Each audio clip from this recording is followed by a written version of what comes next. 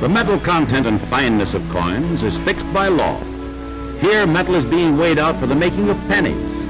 A single penny weighs 48 grains and contains 95% copper, alloyed with 5% tin and zinc. Carefully weighed out in small units, the alloys are placed in a separate box, which will put in the melting crucible along with the pigs of pure copper. Each step is supervised by trained men.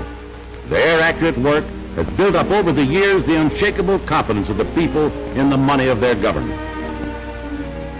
The carefully measured amounts of copper, tin, and zinc are ready for the furnace, but it is not stoked with metal haphazardly.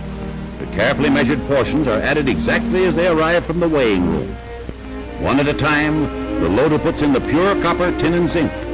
Copper pigs in the furnace, the alloy metals added. The door to the furnace is closed, leaving only a small hole for observation during the melting and later for pouring out the molten metal.